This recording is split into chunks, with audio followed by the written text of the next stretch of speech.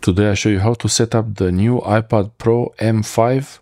This is the 13 inch model and first thing you have to do is first thing you have to do when you want to set up any iPad is you need to start it any device really. So long press on the power button here. And now the iPad is starting. This might take a while here but here I'm already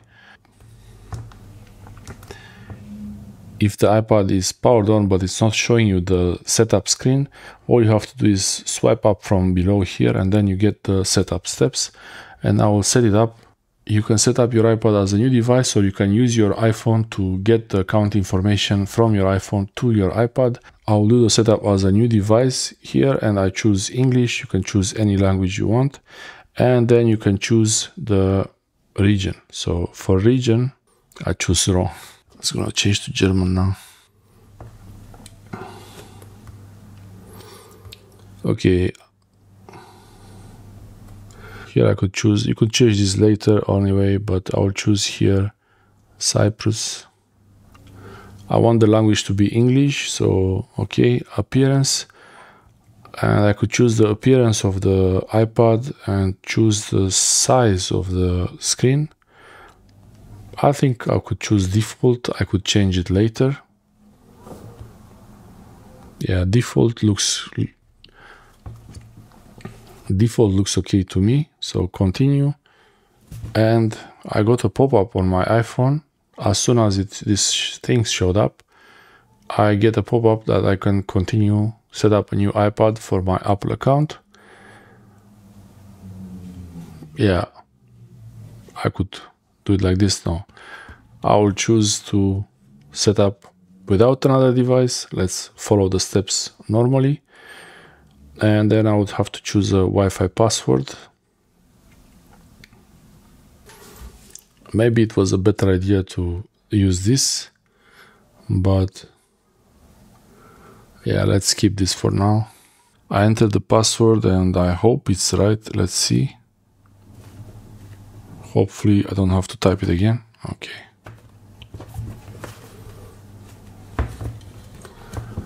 Okay, so it's joined the network and I can it the iPad joined the iPad the iPad it joined the network and it's connected here you can see the Wi-Fi and still 78% and the time is wrong 7:37 a.m.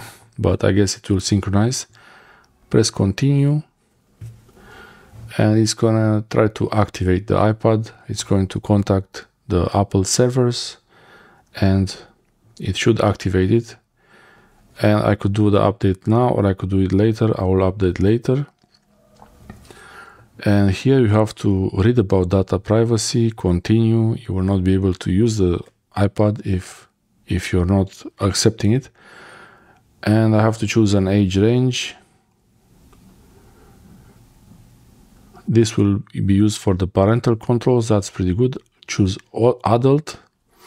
And I can also do a setup for Face ID. I could continue now. So to set up Face ID, I will show my face. So this is my face now. Okay. So it got the Face ID. Hopefully it's right. I have to do it again.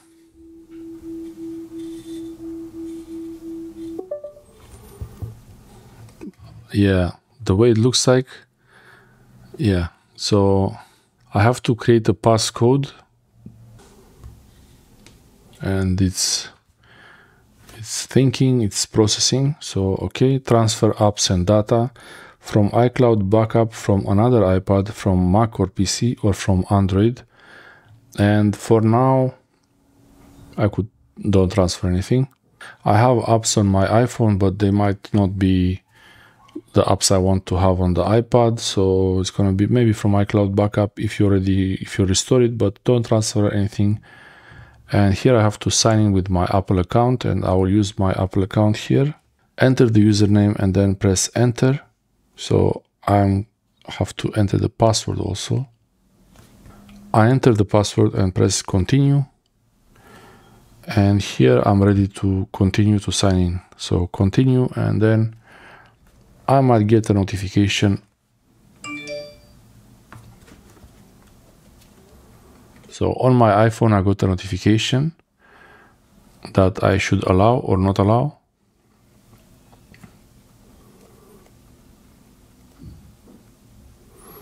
And then this, I get this code 641589. I get the code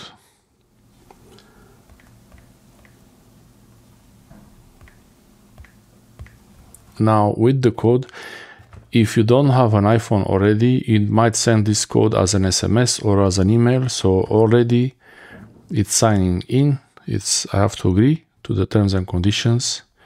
And now it got my name and it's going to set up the iPad for my Apple account. And yeah, that's pretty much how it is.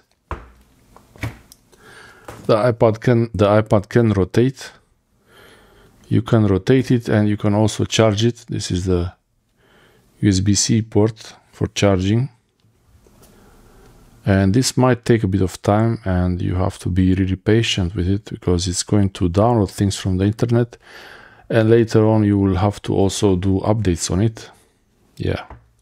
So update ipad automatically. I could choose only download. I prefer to know when i'm installing the the, the updates. Turn on location services. Okay.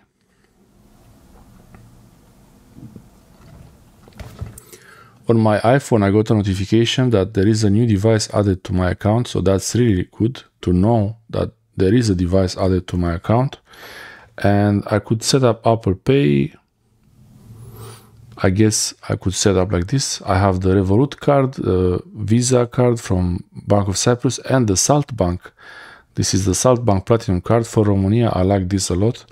So yeah, now continue.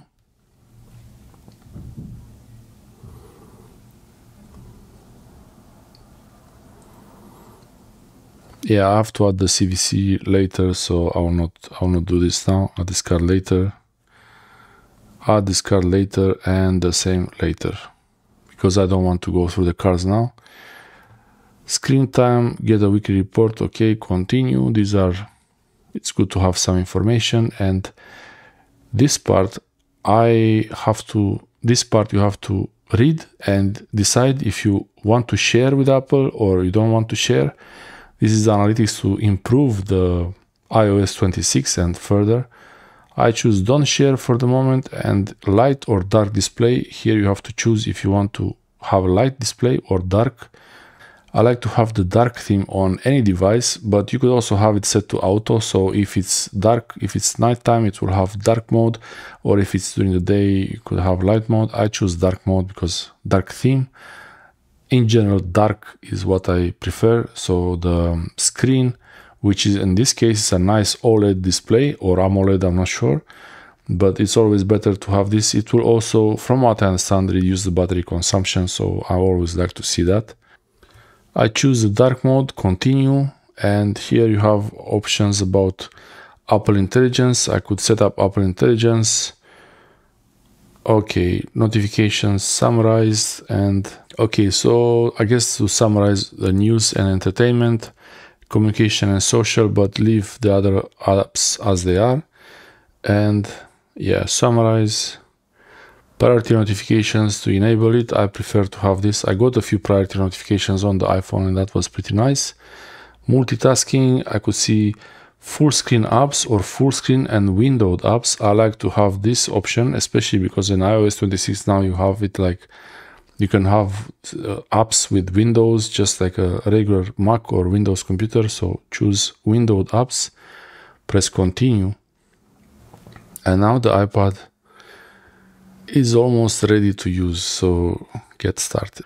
This is the ipad. It's ready to use. I choose it's going to ask me for location option. I choose precise off. You can have precise on or off. I choose it off now. And and then allow while using the app and this is the ipad is ready to use i could look at the pictures there are no pictures and there might be some pictures from iCloud. I'm not sure if I have any pictures in iCloud. I don't have any.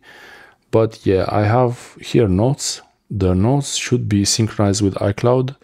So all the notes I have on the iPhone should be also synchronized now with the iPad, which is going to be pretty nice.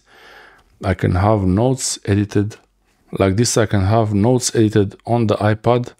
And this is the last, and that's the latest note I have. This is a referral link for Salt Bank And yeah, the notes any change I make now on the iPad will also get synchronized to the iPhone and back.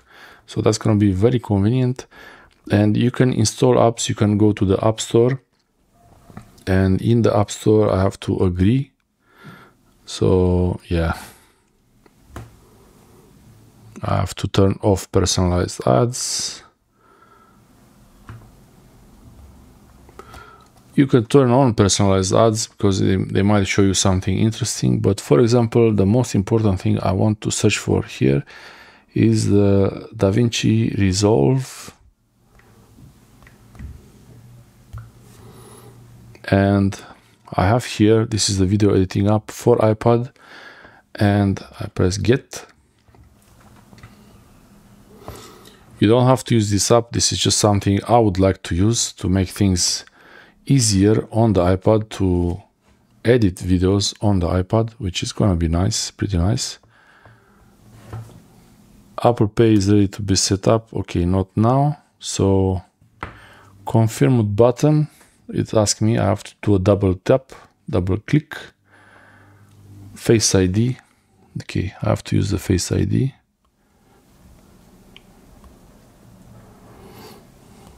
Okay, so I have to use the Face ID.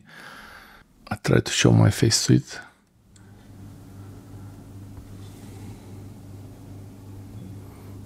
Okay, I have to confirm it now. And the Face ID, I think I showed my face to it now. The same way. The same way as before. Come on. Yeah, so it's installing now you see it's installing. Some apps will take longer to install.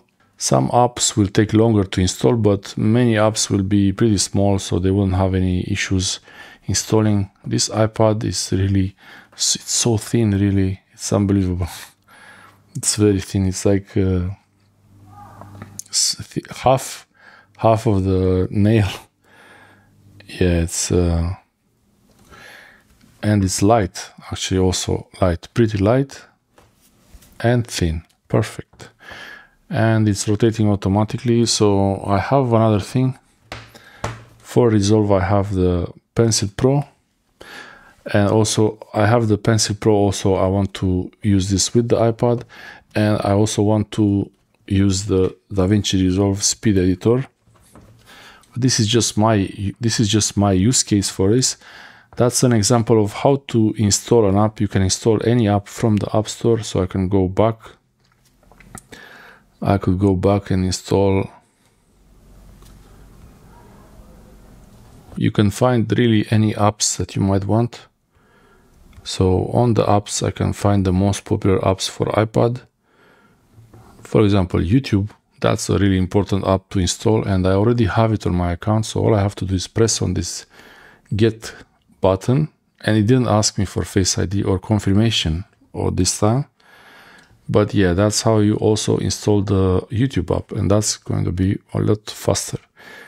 If you want to find the app, this is where it is. And also if you want to move the app to the main page, you long press on the app and then move it to the main page like this. This is the jiggle mode.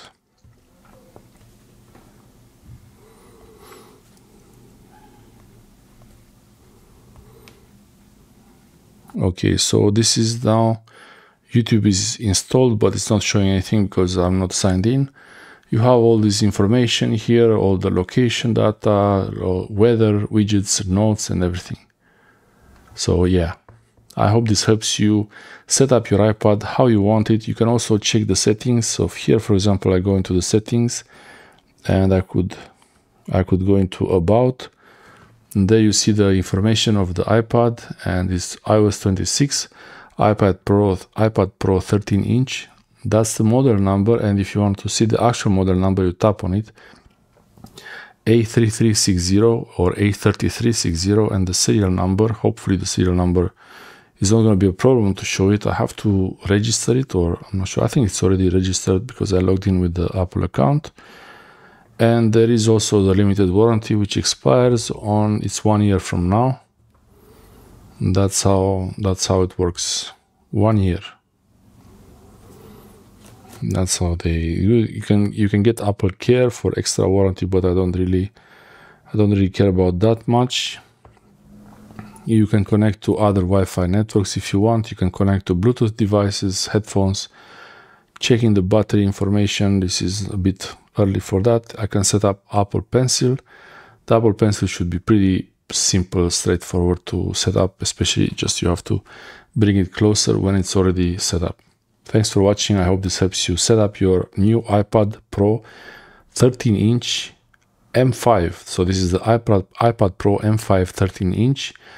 It's the 256 model. I forgot to show you here. So this is the 256. So when you get the 256 model, as you install it, you have 221 gigabytes free. And this is because also 3.8 gigabytes is DaVinci Resolve, so you'll have even more. It's gonna be like two 225 almost. So yeah. 200, 225 approximately you will have free from the 256 that the original iPad has and I think I don't need much more. If I need more storage space I can plug in an external SSD like the Samsung T7 Shield so or any other fast SSD into the port into the USB port directly. So yeah, that's it. Thanks for watching. I hope this helps you set up your iPad and if you have any questions let me know in the comment section below. Thanks for watching.